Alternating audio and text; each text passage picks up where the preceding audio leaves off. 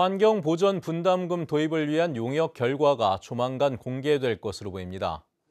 제주도 의회 환경도시위원회에 제출된 제주도의 업무 추진 계획 보고에 따르면 제주도는 다음 달쯤 용역안을 마무리한 뒤 도의회에 보고하고 22대 국회에서 입법화하도록 추진할 계획입니다.